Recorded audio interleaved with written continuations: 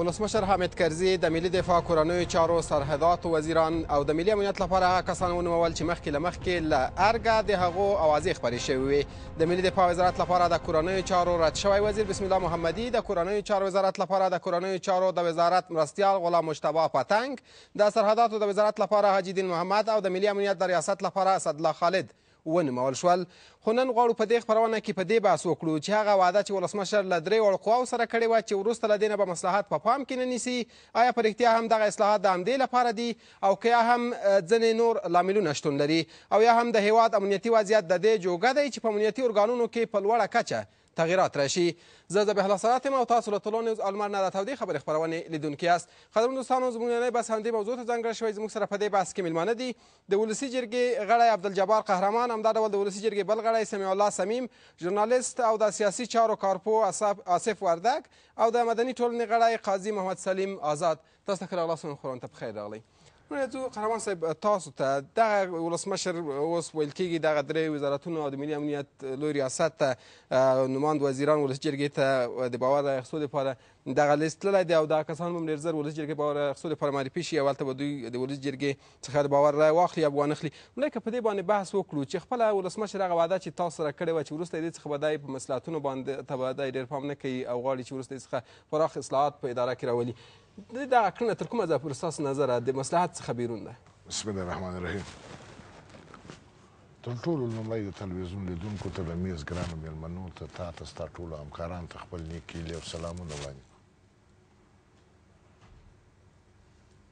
د کرزي صاحب تنها زموږ سره وعده نه ده تاسي دا ملت په يو شي پوه سي موږ کيدای شي ډير دوستان پر دي بارها د پي باس کړي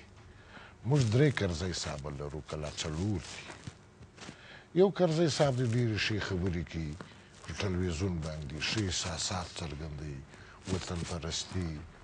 د وطن سره مينه زموږ سره محبات وعدي تعودونه يو کرزي صاحب دي چي د خپلې ډلې سره ماښام پټ پټ صحبتونه کوي، کیسې کوي، تصمیمونه نیسي. یو کرزی صاحب دی چې د امریکایانو او خارجي دوستانو سره د شپې پر پروګرامونو باندې بحثونه کوي په ګډه باندې چې څنګه به دا ملت تر یو دغه سره وباسو. نو کېدای شي موږ ته هغه کرزی صاحب راغلی چې ښې خبرې کوي کېدای شي تصمیم هغه کرزی صاحب نیولی د خپل هغه ګروپ د انډیوالانو سره نو دغه تفاوت پکښې کړي دا یو بل که ستاسو یادې ما یو وخت بحث هم پر دې وکړي چې کرزی صاحب فرمان ورکړي د اصلاحاتو لپاره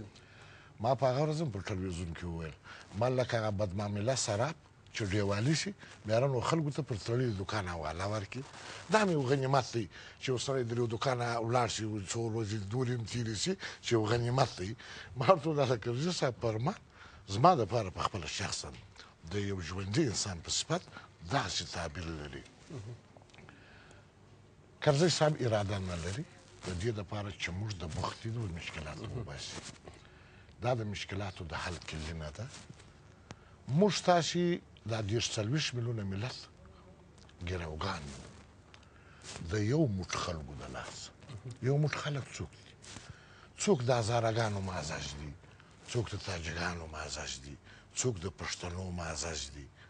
څوک د ازبکو مازج دي دوی ډیر کلونه واک لري چې د دې ملت ته د جنت د استولو کلي هم د دوی په لاس کې ده په دې دنیا کې د دوی پر ژوند د تصمیم نیولو واک هم د دوی سره دی. که دوی زاړه شي یا د پار کاله ولوېږي، بیا یې زوی هم حق لري، واجب الاحترامه دی. دلته نو هر یو جوغې لري.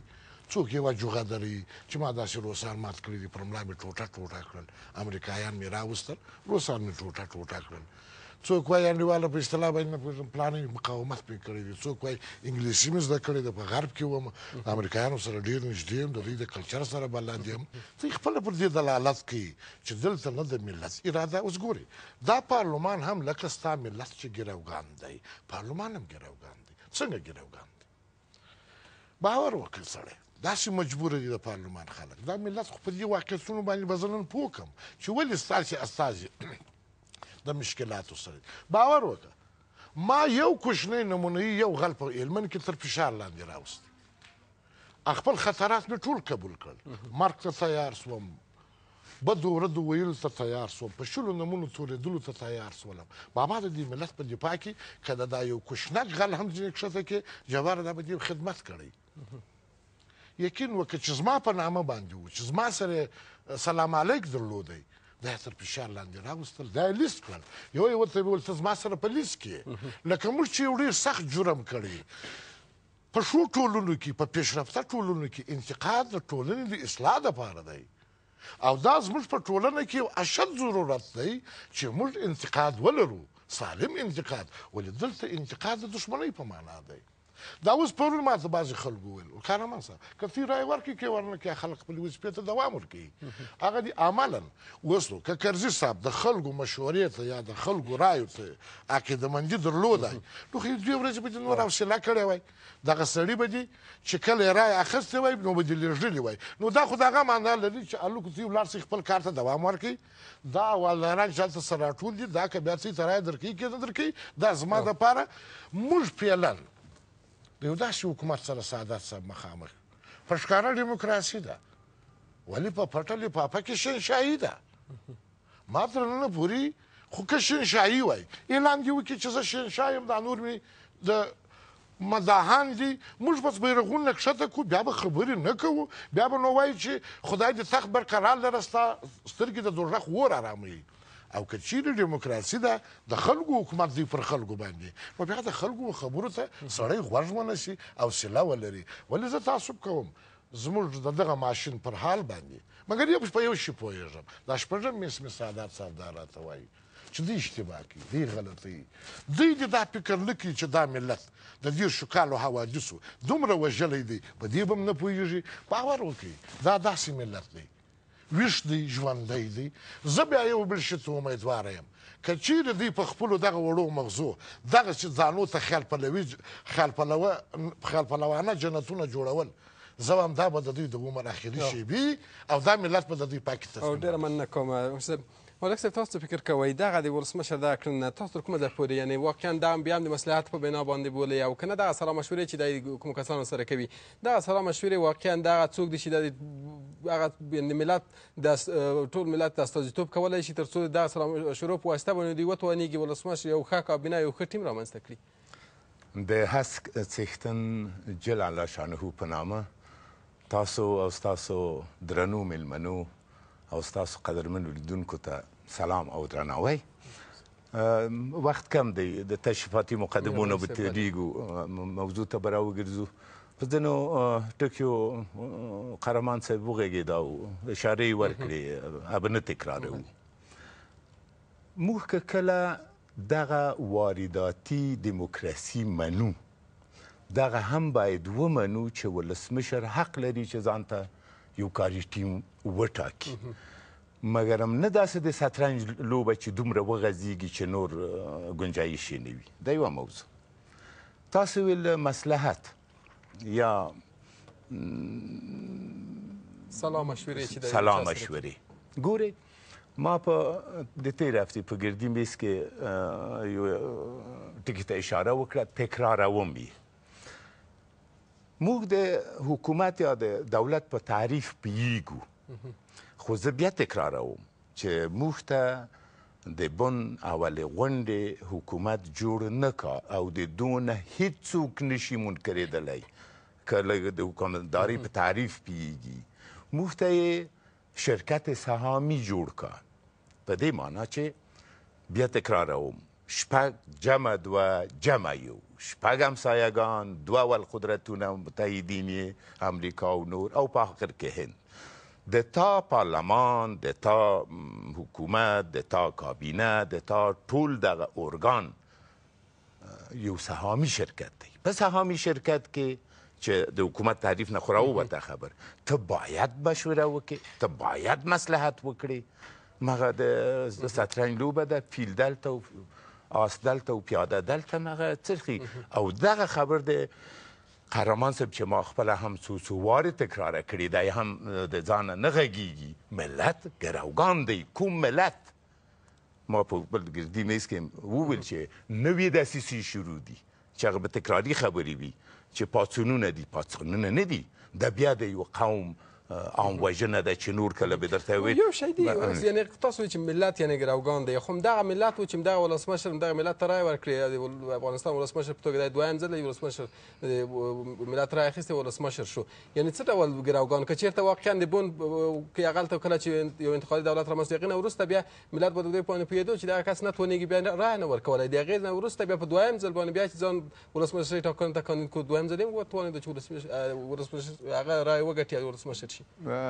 جناب ساده صاحب زه یو خپلواک ژورنالیست یم حکومتي سرکاري سړی نه یم په هېڅ ارګان کې نه یم دغه دوه دېرش کاله مبارزه کوم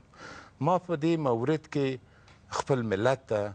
کافي اسناد وړاندې کړي ولې زه د ولسمشرۍ د کاندیدۍ نه په ټولو ولایاتو کې همدارنګه د ولسي جرګې په هغه کې زه عیني شاهد یم اوس که ته موږ ووایو که ونه وایو د رایې ګټلې ولسمر شوی مګر هم انتخابات رڼه انتخابات نه وو او هر کله چې تاسو وایي زه بیلګه وړاندې کوم په اسنادو خو خیر دغه مشر لالا تصمیم نیسي همداسې کوي زه بل بل عرض خدمت ته وکم دا خو د خبرو نه خبره جوړیږي په د دویم وار چې ولسمشر انتخابات یوړل دغه ملت روحانیونو علمی شخصیتونو ځوانانو خپل ولسمشر ملت ته معرفي کړی وای او که هغو کسانو چې وټاکا ایدونه تاسو نشي مونږ کړی د لیوالي و میډیا لري قهرمان صاحب شاهد دی او وکیل صاحب دلته ټول د ګردي میز کې شاهدان دي ولسمشر د امریکا سفیر او د انګلستان سفیر او د فرانسې سفیر تا ته معرفي کا دا باید ومنئ خو بل څه ولسمشر بیا ویل چې په ولسمشرۍ ټاکنو کې خپل نړیوال ډیر کوشش کاوه ولسمشر مطبوعاتي ناسته کوي چې دوی ولسمشرۍ ټاکنو کې مداخله کوله غوښتل چې لاسپوڅی کس دلته راولي یعنی بیا څه فکر کوي چې ولسمشر هم د دوی سره په خلاف انداز ګوري ساده صاحب د دغو ټاکنو مصارف چا ورکول د اوس د تا د سهامي شرکت معاشونه څوک ورکوي د چا په پیسو چلیږي استخباراتي جا... او دا خو د اول نه کړي نړیوال افغانستان ته راغل دا وعده دوی کړې وه چې دلته به یو داسې اداره رامنځته کوي چې هغه یعنی واقعا داسې یو اداره وي چې دلته د افغانستان د خلکو لپاره یو وتوانیږي هغه څه چې د افغانستان د خلکو ضرورتونه دي هغه ورته پوره کړي چې دې ترڅنګ ترون سره مبارزه یعنی مخکې تر مخکې اوس د راتلونکو انتخاباتو هم هغه څه لګښتونه چې نړیوال ټولنه ورنکړي افغان حکومت په دې باندې نه توانیږي ځکه دوی وایي چې دوی د صفر څخه دوی شروع کړي وه او دوی تر څو چې هغې سرحد ته رسیږي وخت ته ضرورت لري. که ته ماته اجازه راکړې زه به یې تاسو ته مخ چې ملت دې موږ غږ اوري څو کوم اوریدونکي چې تاسو تلویزیون ګوري زه ثابتوم چې دوی دروغ وایي زه ثابتوم چې دوی دروغ وایي د تاسو بله ورځ ستراتیژي قرارداد امضا کړه که نه ولې دوخوا نه راکټونه راځي دوه وزیران دې برطرف کړل څو کیلومتره نور راغلل که اجازه راکړي زه په دې مورد کې یعنی د تروریزم تعریف څه دی سعادت صاحب اجازه راکړي هر هغه شخص انفرادي ډله ییز یا د حکومتو په کچه چې یو بی ګناه انسان وژني دوی ته ترور وایي د تعریف د ترور دغه دی هغه کسان چې یوې تروریستي دستګاه ته پیسې ورکوي، مهمات ورکوي او دغه رموت کنټرول بمونه نه میډن طالب دي نه میډن افغان دا څوک ورکوي؟ څوارلسم څوارلس کلن ماشوم ته بم څوک ورته دي؟ ته چاته تروریست وایي؟ څوارلس کلن هلک ته یا څوک؟ ما په هرات کې په د سفیر امریکا ته مخامخ وویل، شهراني ناست وه، وزیران ناست وو، کابینه ناسته وه. ما ویل، ته د نړۍ یو ډېر غټ تروریست یې. سور شو، ویل یې، ولې؟ ما ویل، که ته آی ایس آی ته کمک ونه کړې، پیسې ورنه کړې، نه به ما ړنګوي، نه به د تا تعمیرونه ړنګوي. دی اهداف لري، د ما او د تا د غمه نه دي مړه، مګم یو ټکی دی، د موږ بې کفایتي هم په دې کې وه چې موږ د دغه اشغال نه د ملي ګټو په ګټه فایده پورته نه شوی کړای دغه یو ښه چانس ان شاء الله بیرته راګرځم تاسو ته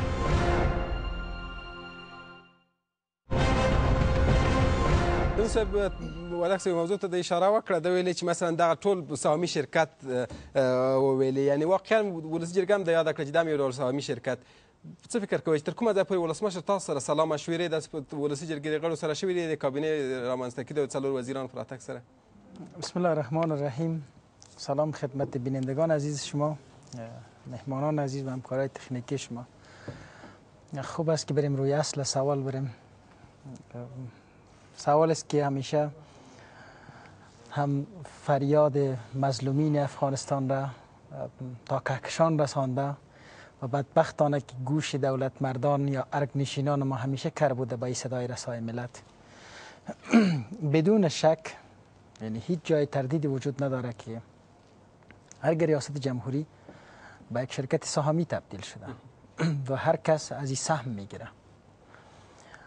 روی مسائل بزرگ ملی هیچگاه بحث صورت نگرفته فقط منافع ها بوده که یک کتله دور هم جمع کرده و تقسیم منافع ها بوده خب تعریف سیاست ارچند امی هست میگه سیاست دوستی و دشمنی نداره مگر بر اساس منافع ها همیشه به مسائل منافع دور هم جمع میشن ولی بدبختانه بدبختانه رئیس جمهوری افغانستان به عیس زعیم ملی افغانستان حالا ما گپ وردک به نمیگیم که مشروعیت داره این نظام یا نداره ما بارها فریاد زدیم ولی به هر حالتش دلسوزی برای, افغانستان و برای مردم افغانستان وجود نداره و هیچگاه وجود نداشته همیشه بر اساس مسلحت ها و بر اساس منافع های شخصی هم افراد گماشته شده و هم افراد برداشته شده هیچگاه ما معتقد به مسائل ملی نبودیم هیچگاه معتقد به افغانستانی که افغانستان دارای اقتدار ملی بوده باشد دارای حاکمیت ملی بوده باشه افغانستانی که دارای تمامیت ارزی بوده باشه افغانستانی که بتانیم از اراضی افغانستان دفاع بوده دفاع بکنیم معتقد به این مسائل نبودیم همیشه معتقد به این بودیم که چطور میتونیم ملت را فریب بدین و از آدرس انمو فریب بتانیم حفظ چوکی و حفظ قدرت خدا یا تداوم قدرت خدا در در پرتو انمی نظام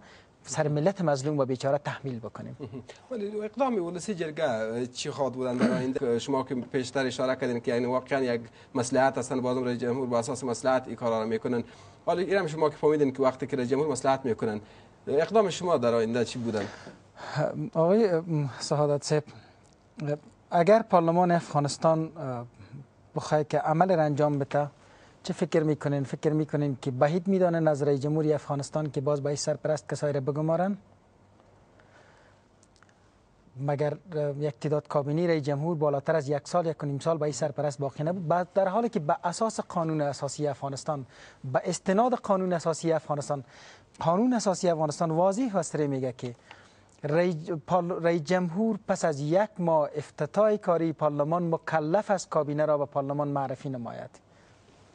سری قانون اساسی افغانستان است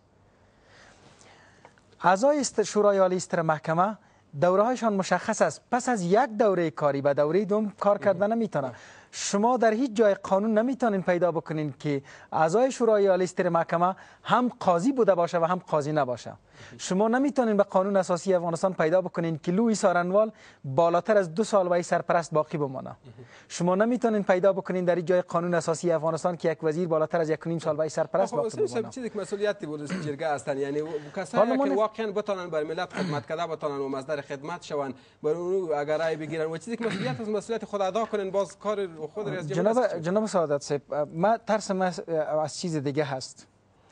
رئیس جمهور افغانستان بالاخره از آدرس نیمی پارلمان افغانستان طوری به سطوح خواهد آمد که خطاب به مردم افغانستان بگه که می مملکت می سازم ولی پارلمان افغانستان نمی مانه که می مملکت بسازم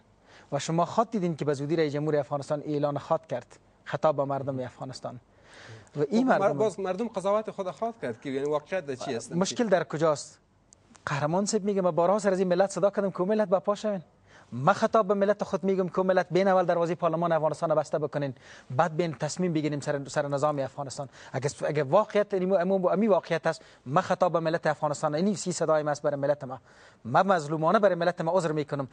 که بین اول دروازی پارلمان افغانستان بسته بکنن ولی تصمیم بگیرین سر نظام افغانستان به نظام بسازین به افغانستان نظامی که مظهر اراده مردم افغانستان بوده باشه نظامی که به بهای خون میلیون ها انسان میخواه ساخته شود ما توقع می است اگر ما وکیل پارلمان هستم ما حاضر هستم از می صفت از می سمت ما پس شوم به خاطر ساختن از وطن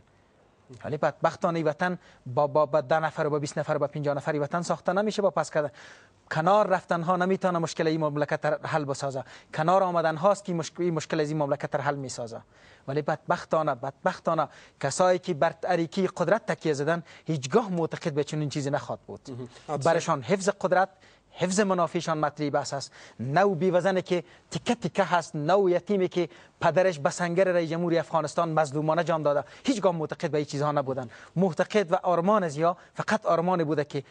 حفظ چوکی حفظ قدرت قدرت شان بوده با بس یک کلمه گپ از این بیشتر اینا ندارن در افغانستان تشکر میکنم سمین ان شاء الله بر پس به شما برمیگردیم پس تاسو فکر کوئ تر کومه د پوری هغه موضوعات ته جدي اشاره وکړي یعنی کچیرته واقعا دوی وی کچیرته بیا هم دا کسان چې ولسمشر ولسی جرګې ته خیال مصلحت پر اساس یا د ملي ګټو پر اساس دا کسان ولسی جرګې ته باور اخستو لپاره معرفي کوي کچیرته دوی بیا هم د کسان ته رائے ورنکړي تیر په څیر مثلا موږ تاسو د جریان کې چې ما کسان په اړوند وزارتونو کې دوه کلونو زیات هغلته د سرپرست په حیث باندې پاتې شوي دي دغه مجله دوی وایي چې بیا هماغه کسان سرپرستان پاتې کیږي بسم الله الرحمن الرحیم سلام ملمنو ته او لیدونکو ته د بن تر لسبونه پوری د بن تر لسبونه پوری دا نظام پر مصلحت باندې جوړ دی په مصلحت باندې را روان دي دا ټول سیستم چې نن په دې ملک روان دی د هراتانو نه نیولې تر تورغونډۍ پورې او د تورغونډۍ نه تر اسلام قلا پورې اسلام قلا نه تر غلام خانه پورې تر تورخم او تر سپین بولدکه پورې دا ټول ک وزارت دی ک ولایت دی ک ولسوالی ده یعنی دا څومره سیستم چې دی دا پر مصلحت باندې ولاړ ګاونډي هیوادونه څونه پکې دخیل بولي ځنې وخت داسې ویل کیږي مثلا کوم وزیر چې لري کې په دې وایي چې د ګاونډي هیوادونو استخباراتي ادارې یو ډول فشار چې ولسمشر باندې چلو ته دا کسان لري شي او دا کس باید دغه پوسټ راشي هغه فشار دا خو دا خو واضح خبره ده چې ګاونډي ملکونه لکه څنګه چې مخکې وردګ صاحب دې ته اشاره وکړه ګاونډي ملکونه په دې ملک په تیر درو لسیزو کې ډیر لوی لاس لري او بالا لاس لري په دې کې شک نشته دا واضحه خبره ده لمر په دوه ګوتونه پټي خبره دا ده چې د رئیس جمهور دغه سیاسي ټیم دی په تیر لسو کلونو کې تاسو وګورئ کدی ټیم ته کدی ټیم ته د یو ولسوال په صفت نه وای کس داخل شوی وو بالکل زه مجرم د ولسوال په صفت باندې د همدغه مصلحتونو په اساس چې یعنې مصلحتونه کې یعنې مصلحتونو د افغانستان دا اوس دا دا فعلي نوین افغانستان چې موږ ورته وایو د تیر لس کاله چې دا درېمې نړۍ ته اوله نړۍ یو چانس ورکوي افغانستان ته دا چانس نور نړۍ ته درې کاله دوه کاله دا چانسونه وي افغانستان ته لس کاله دا چانس ورکړل شو او بدبختانه بدبختانه چې دا د دې مصلحتونو پر بنیاد باندې دا چانس د لاس ورکړل شو نن که د ټوکیو کانفرنس کیږي که په بل ملک کانفرنس کیږي دا کانفرنسونه نور هیڅ نتیجه نه ورکي نه د رئیس جمهور دغه 15 وختم پرمان دی که 15 فرمان ورکي دا نتیجه نور نه ورکي دا نور دا دا سیستم فیل دی او دا خو صحیح ده خو ولسمشر تاسو ویل چې مثلا دا حکومت یو ډول سهامي شرکت یا مصلحتونه دلته خپله ولسي جرګه څه کولی شي یعنې که چېرته همدا کسان ته بیا دوی د باور رایه ورنه کړي سرپرستانو په حیث باندې پاتې کېږي یعنې ولسي جرګه باید څه ډول اقدام دوی پر وړاندې وکړي تر څو د ملک د ښېرازۍ دپاره هغه مفید واقع شي اوس خبره همدا ده چې د افغانستان مدني ټولنې او د افغانستان خلک سترګې په لاره پارلمان ته دي اوس په پارلمان کې زه پارلمان د وکیلانو ډېر نږدې نه د هغو سره کار کوم مشاورت کوم الحمدلله هلته ډېر باوجدانه او تکړه په خبره پوه خلک هلته موجود دي یعنې دا تیر د دوو وزیرانو د عدم صلاحیت دغه پروسه چې په ډېره کامیابۍ سره مخته لاړل زه په دې باندې مطمئن یم چې دغه سبا بل سبا چې دغه پروسه مخکې کیږي عین شکل په دې کې به هم دی دا په ډیره کامیابی سره او بل دا چې د پارلمان دا خپل سیاسي حیثیت چې په تیر دوه کلونو کې ډیر دغدار شوی دی هر ورځ دغدار کیږي هر ورځ میډیاګانې په دې باندې باس کوي چې پلاني وکیل دومره پیسې واخلي پلاني وکیل دا ډېر خطرناک خبره ده خو زه په دې باندې مطمئن یم چې هلته ډېر باوجدانه خلک ناست دي او هغه به هیڅکله چې د څو پوري پارلمان وکیلان ټول دا داوا کوي چې مسلکي خلک ماته راولېږه زه په دې منې مطمئن یم چې هلته که مسلکي خلک لاړل او په دې دغو کې سیدا د کرزي صاحب سیاسي ټیم دی اوس د پتنګ صاحب باره کې ما چې کوم ځای پورې تحقیق کړی دی پتنګ صاحب واقعا یو عالم سړی او په دې یعنی مشخصه په هغه باندې را نه شو خیر صاحب کنه یعنی سید خدا څلور کسان چې وسول سجل کې دوی د باور اخستو لپاره معرفي کړی او تاسو چې داس بیرون داس ګنګوسی دي چې مثلا غلطه کنه د پیسو معاملې ځین نور نور نور شاندي یعنی تیرو ته په کتو سره څومره باوري یاستئ چې واقعا هغه څوک چې کار همیشه موږ تاسو ویل چې کار باید اهل کار ته وسپارل شي په دغه کسانو کې څومره باوري یاستئ چې واقعا ولسي جرګه وتوانیږي هغه څوک چې ور دی هغه پوست لپاره دی هغه ته د باور رای ورکړي او څوک چې نه توانیږي په هغه پوست کې هغه لاسرانه ولري هغه څخه د باور هغه ته ورنکړي دا چې دی یعنی پو او وطن ته وفادار وطن پرستان الته ناست دي نو دغه سي عمل به کوي لکه د تیر دوه وزیرانو سره چې وزارت داخلي او د وزارت دفاع سره چې وک کېدای شي دا به په دې کې مصلحتونه مو سیاسي مصلحت به مو او مسلکي نبودن به مو وکیلان د پارلمان به قهرېدلي ول خو لیکن یعنی یو ښه اقدام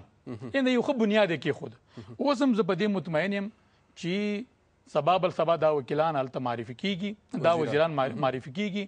نو وکیلان به وطن پرستانه فیصله کوي د ډلې او د ټپلې او د د خپل قوم او قبیل د دینه بالاتر ملي ګټي په نظر کې نیسي در غیر ان دا درې کال چې کدا فیصله دی پم دی دغه منی وکړ دی خلکو ته رائے ورکل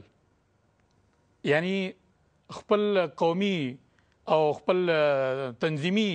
او سمتی دغه په نظر کې ونیول ته یقین وکړه دوه کاله خو په بدنامۍ باندې تیر شوی دي دا نور درې کاله په ډیر سخت بدنامۍ سره ډیر مننه کوم حسین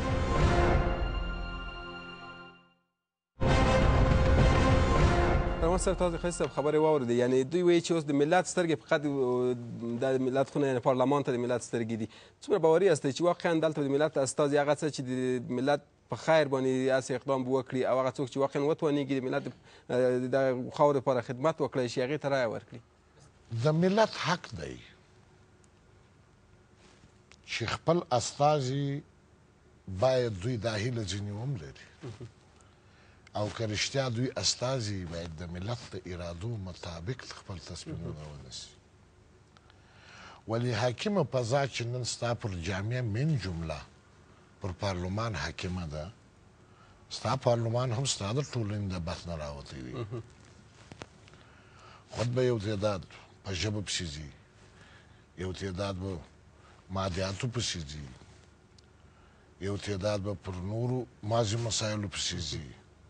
خو مطرح غوت اکثریت دلته مطرح دی ځکه د هغوی اوس راځو دې ته چې بعضې خلک اوس اول دا زه سړی تا ته ناست یم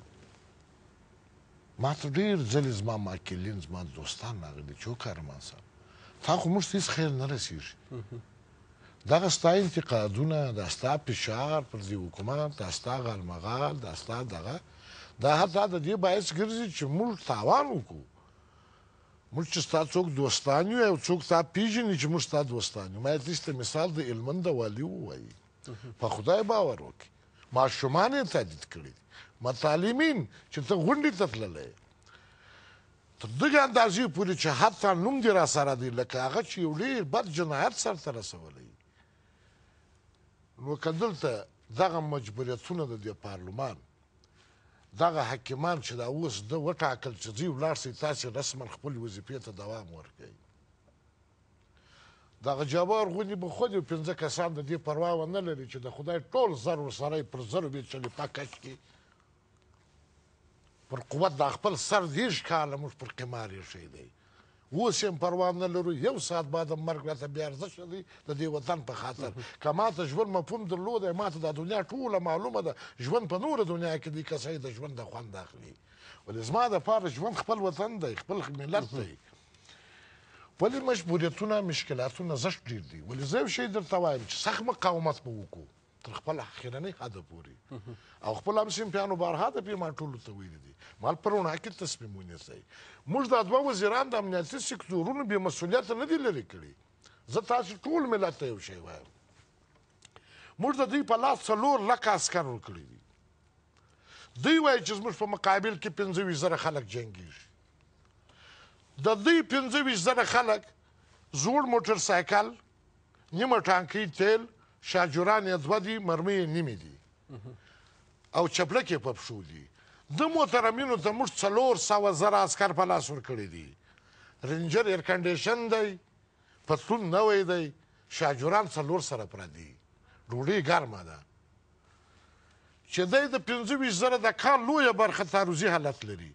څلور سوه زره د کال لویه برخه مدافعوي حالت لري، هغه سربېره په دېوالو پسې ورننوځي، دی چې هر څونه دا دېوالونه پر ځانو جګوي، هغه سربېره په دېوالو پسې ورننوځي. تاسې خپله پوه سئ چې څنګه څلور سوه زره خلک پنځه ویشت زره نسي مارولی کمبود ته چي چي دی په خلکو کې ګناه نه ده په پرسونل کې ګناه نه ده په منصبدار او عسکر کې دي ګناه نه ده په مدیر کې ګناه ده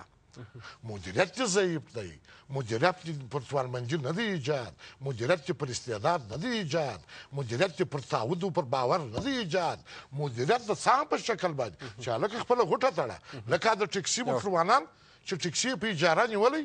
تر مازدیګره پورې دی خپله دنده شماري خدای دې وکړي دا ټکسي په کډي کې موښلي ماتیږي خرابیږي دی مسؤلیت نه لري یو شی خبر سي تاسو مخکې ویل چې ملت باید راویښ شي ملت وایي چې زه دوه کاله مخکې راویښ وم او دغه څوک چې واقعا هغه د ما لپاره داسې یو کس زه پوهېدم چې دا به وتوانېږي ما استازیتوب هغه ما ولسجرګې ته معرفي کړو مثلا تاسو ته ما رایه درکړه هغه تاسو ولاړ ولسجرګې ته خو دغه ضعیف مدیریت تاسو کولای شئ چې دغه ضعیف مدیریت اقلا تاسو یو څه سمې لارې ته بوځي. نه دی ملت په هغه کچه چې موږ وایو چې راویښ دی او دوی انتخاب کړی دی دا موږ ته غلطوو. موږ ته دا انتخابات ټول معلوم دي چې څوک په رای راغلی دی، څوک چا راواستاوه، څوک چا راپري وایي، راټېله یې کوي. دا خو موږ ته ګور ده په دې شیانو باندې دا ملت ټول په دې پوهېږي. د ملت د خلاصون لاره په څه کې ده؟ خلکو زه به تاسو ته یو اصل ووایم چې د جهان ټول ډالر درته راوړم د جهان ټول ټانګونه او توپونه درته راوړم دا وطن د مصیبته نه سي ایستای دا څوک باسي سالم مدیریت سالم حکومت حکومت دی چې ملت ته لوری ورکوي ملت دی چې باسازي کوي ملت دی چې په ټولنه کې ثبات ته لاره خلاصوي امنیت راولي ولې موږ فاقد د حکومت یو؟ موږ بارها د پې داب غارې ویلي دي. دا اوس ما دا څلور پنځه ورځې کېږي غونډې لرم، د دا مدني ټولنو سره، د دې بعضې سیاسي احزابو سره ناستې لرم، دغه یو د کونړ پر موضوع باندې یقین وکړئ دا درې څلور نشسته موږ کړي دي. ما ورته ویل، و ملته! دا خو زموږ د ګوند د مشترکه وجه ده.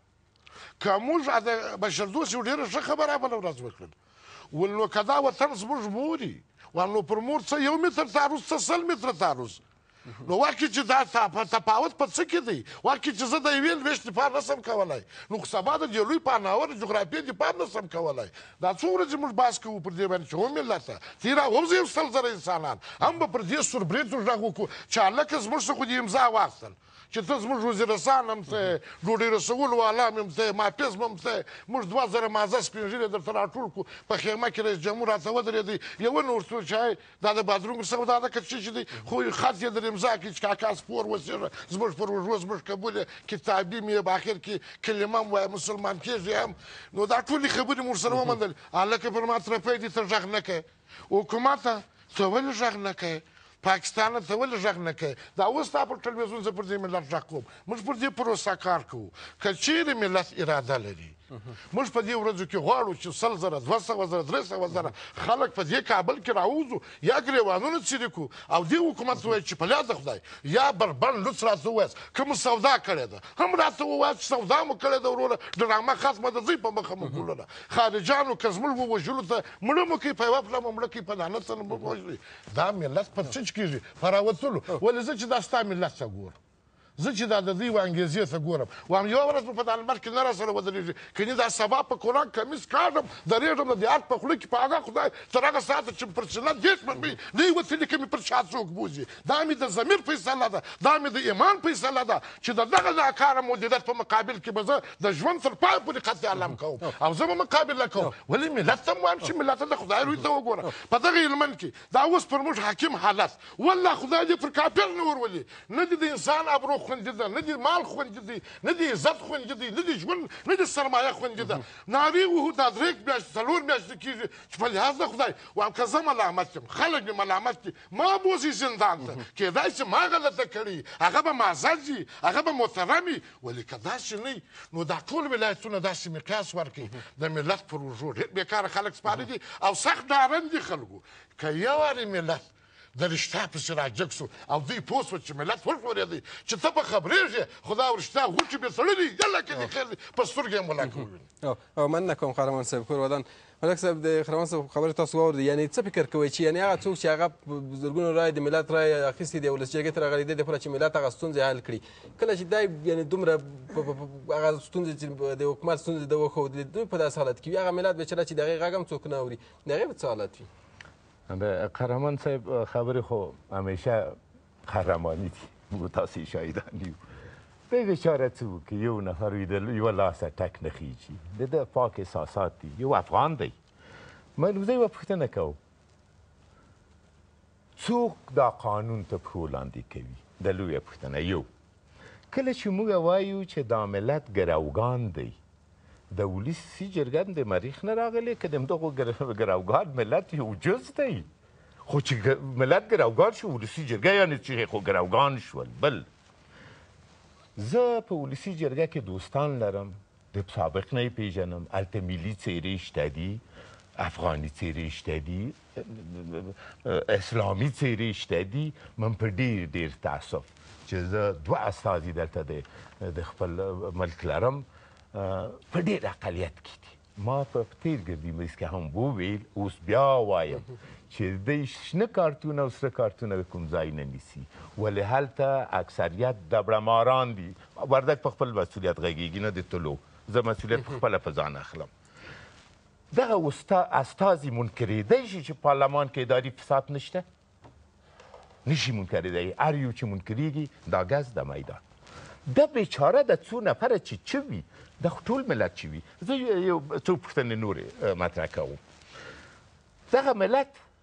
د کوم اداري فساد په مقابل کې پاڅون وکړ چې وایي په اندړو کې پاڅون وشو چې هغه دولتي مافیا ته ډالر یوړل ما نه پوښتنه وکړي زه د وردګو د جغتو یم ما په غزني کې موږ جبهې درلودلې دا د ما ملک دی زه دلته زیږیدلی یم زه زه زه اووه څلوېښت کاله د ژورنالیزم یو شاګرد پاتې یم او د د د د انقلاب د د د هغه د سره استعمار نه تر نن ورځې پورې زه د ملي سنګر کې د یو عسکر په صفت یو عیني شاهد یم یو ملي شتمنۍ چوره چپاول شولې هېڅ شی پاتې نه شول. په کابل کې پنځه جریبه پټی نه دی پاتې چې سبا یو مکتب کې جوړ کړي. دو ته چا پاڅون وکا؟ پنجابی رژیم یا استعمارګر رژیم چې زه د پاکستان نه څلور کاله مشر یم سادات صاحب چې نه تاریخ لري نه هویت لري د تا په پنځه زره کلن تاریخ باندې داسې لوبې کوي که یو ماشوم چې د لنځکې نه کوي د نن یې د تا په حریم چې خاوره د ناموس حیثیت لري تجاوز کړی په کونړ باندې نن محشر دی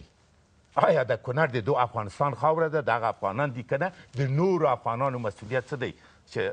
قهرمان صاحب اشاره ورته وکړه ولسی زه یو بل پښتنه مطرح کوم قهرمان صاحب دې غوږ ونیسي دغه ولسی جرګه چې وایي چې مدیریت ضعیف دی ولسی جرګه قا... قانون خو دلته قانون دی کومه شو وبخي ما خبر بیرته واخیستله بخنه غواړم دغه مدیر د راوغواړي چې وروره په لیاز د خدای دغه مدیریت ضعیف دی نور څه را باندې غواړي خو بس دی مړه دی کړلو د یو بل خبره کوم چې د نورو دوستانو وخت ونی نسم قرمان صاحب ویل چې هلمند فکر سال دی د لندن په کنفرانس کې والي صاحب د ما غږ اوري نو ده وویل چې ما ده وکل ده وکل ځوان دی رښتیا مارزو لري چې یو څه وکړي خو ډیر لس دی چې وړاندې کا د مانه چې پوښتنه وشوه نه مال ولا ویل کیږي ډیر خو لیدل کیږي هیڅ نه د مانه لږ آزردم شو تنها هلمند نه دی ګوره ټول افغانستان په وینو کې رپیږي موږ دغه دو دېرش کاله یا په تاریخ کې مبارزه کړې چې موږ هند ته شکست ورکړ موږ انګلستان ته شکست عدم واړه موږ روس ته شکست وکړ زه اوس وایم چې په شخصي زه شخصا پښیمانه یم چې ولې د موږ افغانانو وظیفه دا ده چې د نورو ملکو د ازادۍ د پاره موږ سرونه قربان کړو د آزاد چې موږ اوس هم په وینې کلام ووایو موږ ځان ته څه وکړل موږ ځان ته څه وکړل په افغانستان کې سراسر دغه حال دی دوستان راغلي دوست ورته وایي مګر موږ یې ګورو چې څه کیږي ما د قندوز خبر درته وکړ دغه په پروزه کال د اوس ابل ورځ په قندوز کې څه وشول یو لاوبالي ګروپ راځي د نورو په اشاره یوې کلي ته ورځي ګم ګم ګم ګم ګم او خو مخکې پاتون نه تاسو اشاره وکړه خو ماغه د سیمې خلک مجبورېږي دا ډول کړنه په ازو پاتون وکړي نه پاتون خو ګوره پاتون د چی شي مقابل کې پاتون تعریف لري پاتون تعریف لري ظلم په مقابل کې پاتون د مقابل کې چې هغه نه پری تا تلته مکتب ولري تلته شي په خانه ته لاس رسول ولري ودر زه سبا زم کونړ ته د یو افغان په صفت سپینګیره یم یم او زم دا وعده ورکوم زه د خپل قلم سره د خپل ټوپک سره زه ټوپک لرم واضح وایم د خپلو کارتوسو سره په خپل مصرف په همدو سپینه ګیره د خپلې کمرې سره زه ځم کونړ ته ول د ما ناموس دی مګر ما خو امریکایان ولي ما پنجابیان د دی خلک ولي ما نه پریږدي دا سړی وکیل قهرمان صاحب ته وکیل یې که په پارلمان کې څه شي وکیل یې ته په هلمند کې ونه ویل شوې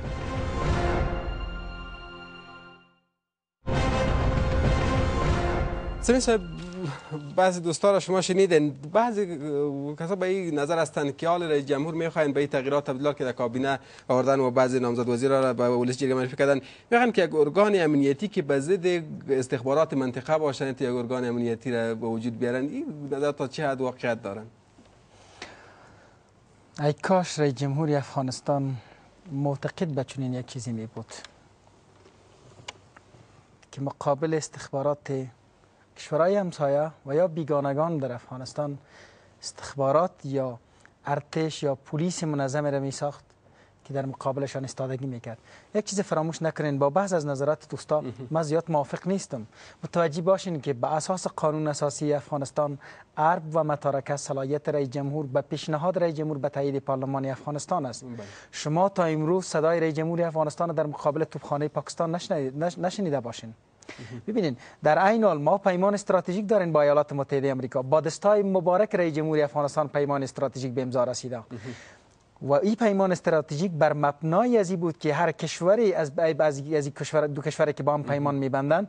اگر موقعی ضرورت سر هم دیگر صدا بکنن باید پاسخ مثبت داشته باشند و از یکدیگر از منافع یکدیگر دفاع بکنن آیا کدام وقتی از طریق رسانه های شما نشر شده که رئیس جمهوری افغانستان خواسته بوده باشه از ایالات متحده امریکا که به خاطر اینی موضوعگیری پاکستان یا یا توپخانه پاکستان امرای مردم افغانستان و نظام افغانستان هم کاری بکنه که بدون شک چنین چیزی را نکرده برعکس در یکی از میدیاهای پاکستان رئیس جمهور افغانستان واضح گفت در صورتی که ایالات متحده امریکا علیه پاکستان بخواد قد علم بکنه نظام افغانستان با پاکستان هم عقیده همگام خواهد بود به هر حالتش ما فکر نمی کنم که ارگانایی که دخل هستند مثلا شما پیمان استراتژیک اشاره کردین ارگانایی که ز دخل هستند و نمو او ارگانا را کسایی که در رأس هستند به حیث وزرا خو شما به دستای خود به اورنا باز رای دادین این همی سلسله نی ببینن دوست عزیز انگیزه چی وقت به وجود میه آیا شما انگیزی یک سرباز را میتونین به می رقم به دست بیارین به یک سرباز انگیزه بدین یک انتحاری را به بهای خون خود یک سرباز میگیره و او در بدل یک لک یا دو لک مکافات رها میشه به گفته سخنگوی خود ریاست عمومی امنیت ملی سه بار یک نفر که به توتی انتحاری و تروریستی دستگیر میشه و پس دوباره آزاد میشه ببینین رئیس جمهور افغانستان تا زمانی که رسالت خود و وجیبه خود ندانه اونهایی که علی نظامی افغانستان علی مردمی افغانستان علی مظلومین افغانستان قد علم کردن تا ری جمهور فرهنگ مجازات و مکافات را نداشته باشه و به او سرباز دلیری که مردانه و شجاهانه در برابر دشمن سوگند خورده افغانستان مبارزه میکنه او تقدیر نشوه و او دشمنی که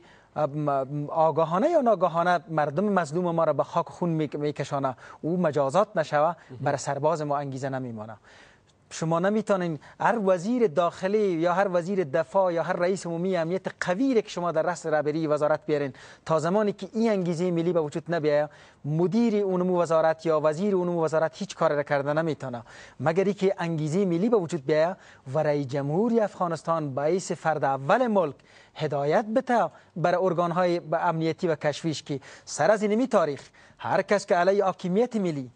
تمامیت ارزی افغانستان قد علم میکنه باید پای پایش قطع شوه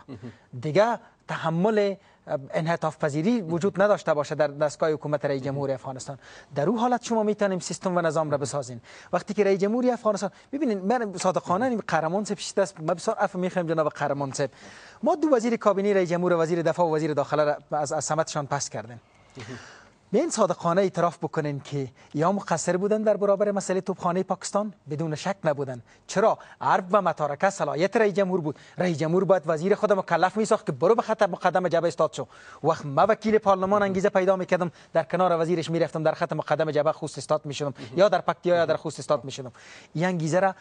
رئیس جمهور افغانستان کشته ولی سبی و گالا باز بخاطر چی هستن یعنی بعضی دیروز چند روز پیش همراه ما یک والی صاحب بود که پیش پیشین والی غزنی بودن اونا گفتن که در شش ماه ما نتونستم که همراه رئیس جمهور اقلا ببینیم آخر تانستیم که شش ماه بعد یک تماس تلفنی داشته باشیم یعنی وقتی که والیای که اصلا چیز از رئیس جمهور میکنه در ولایت ها دو جمعه باشه اونا نتونن شش ماه رئیس جمهور افغانستان ببینن به خاطر مشکلاتی که در منطقه هستند و باز چی فکر میکنید یک وقت خواد تانست که امو مشکلات که مثلا امرای پاکستان دارن اونا تا کابل خواد رسیدن و اونا نتانن که امرای جمهور اجازه از زیر گرفته بتانن او خو یک والی صداخل به یک منطقه دور افتاده است بگذاریم که یک شوخی دیگه رای جمهور یک تعداد وزیر مشاور داره آنچه که نقل قوله که به ما آمده یکی از وزیر مشاورای رئیس جمهور میگه که سه سال است بیس وزیر مشاور مقرر شده و تا امروز آقای کرزی را ندیده از نزدیک بعد از سه سال تا امروز رئیس جمهور را ندیده از نزدیک ببینین مشکل داری بله یک کتگوری شاید مشخص بوده باشه که بیست و چهار ساعت با رئیس جمهور ششته است و شاید اینمی حلقه برای رئیس جمهور مجال از ایره نته یا اجازه از ایره نته که با کسایی که مشوره نیک برای جمهور میته واره رئیس جمهور ببینه و از اونا مش مش مشوره بکنه به هر حالتش مقصر اگر چنین هم بوده باشه مقصر فرد اول ملک است رئیس جمهور است چرا رئیس جمهور تو یک مفکوره قوی نداشته باشه که نتانه با مو کتلی محدودی که در درون هر کوره انحصار کرده نتانه ای ای انحصار بشکنانه ای زنجیر مستحکمی که توسط کسایی که به خاطر منافع شخصیشان ارگ را در انحصار خود گرفته ای را بشکنانه و با, رئیس با, با, با مستقیم با مردم افغانستان در در مباحثه نشینه رئیس جمهوری افغانستان مشکل مشکل رئیس جمهوری افغانستان است مشکلات ما... حکومت هم شما گفتین سمین صاحب مشکلات اداره را و دیگه مشکلات حال شما چی وعده میتین بر مردم افغانستان یعنی شما چی قدم میتونین در قبال از این که یعنی رئیس جمهور با خاطر مصلحت یا با خاطر بعضی چیزهای دیگه این کارا را میکنن شما چی کردن میتونن ببینن باور ما است که ما حداقل با با سه چهره معرفی شده جدید کابینه رئیس جمهور کرزی او شناختی که باید داشته باشم ندارم صادقانه براتان میخوایم بگم ولی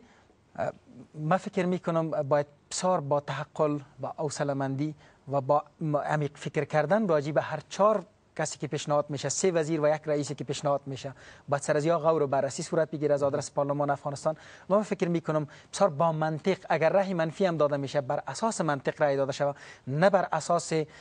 احساسات و و و سلیقه رای داده شود و اگر عدم رای هم داده میشه باید بر اساس منطق بوده باشه بیشتر یعنی رای تمام که بودن فساد هم در ولسی جرگه دوباره مگه شما خب به هر حالتش من رد نمیکنم که فساد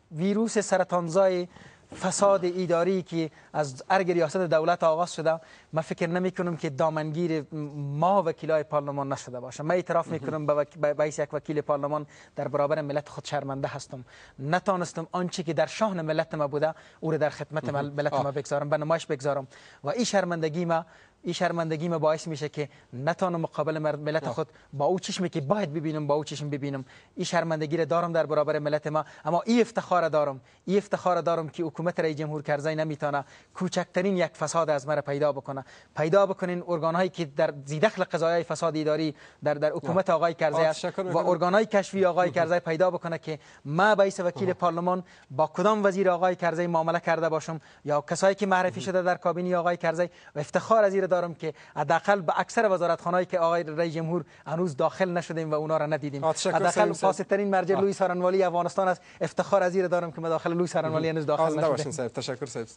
آقای صاحب مهربانی وکړئ بس سره ټول کې خبرونه هم پای ته رسیدل دي یعنی دغه زدمندونه تاسو ول دل چې مثلا قهرمان صاحب دغه سمیم صاحب دغه موضوعات اشاره وکړي چې د ولسی جرګې غړي دي یعنی اوس څه فکر کوي همیشه کله چې یو کس کوم دولتي ارګان ته په لوړه کچه کې موږ تاسو بحث وکړو وزیران د هغه سره کله چې موږ بیا بحث کوو هغوی وایي چې مثلا زه نوی دغه ادارې ته راغلی یم او تر اوسه پورې زه چې څو دلته لاسته راوړنو څخه هم دوی وایي چې نوی کله چې څوک ادارې ته لاړ شي نشي کولی لاسته راوړنې ولري په دې کمه موده کې چې ولسمشر لري او یو نیم کال په شاوخوا کې د موده پاتې ده او دا نوي کسان په څه ډول وکولی شي په اړوند ارګانونو کې ډېر مهم ارګانونه دي امنیتي ارګانونه دي په دوی کې دوی لاسته راوړنې ولري اول خو دا چې دا نوي خلک نه دي دا ټول د لس کاله کې په ادارو کې کله چې معرفي کې هغه ته خو بیا نه نظام کې اساسي موري هم دا خلک دي زاړه کفن کش په دې نظام کې اساسي موري دا خلک دي وزیر دفاع محمدي صاحب مخکې د ملک ستر درسیز وسیدلې او دا یو ډیر مهم پوسټ دی عین شکل د وزیر داخله وسیدلې دي اجي صاحب دین محمد د مشرقي غوندې د ننګرهار غوندې ولایت والي اوسېدلی د کابل ولایت والي اوسېدلی دی او همدا قسم د سرحداتو د امنیت ملي د پاره اسد الله خالد او خو بیا څو میاشتې وخت غواړي چې دا خپل هغه کوم کاری ټیم چې د سره هغه ټیمونه سره یو خو بل خو سره یو سي دغه یو لوی ستونزه رامنځته کیږي یعنی خبره دا ده چې دا خلک خبره د مصلحت ده مصلحت پر بنیاد کرځي دا خپل قانوني یو نیم کلنه دوره چې پوره کوي د مجبور او مکلف دی چې دغه مصلحت په نظر کې ونیسي دغه کسان د د کابینه د د ټیم غړي دي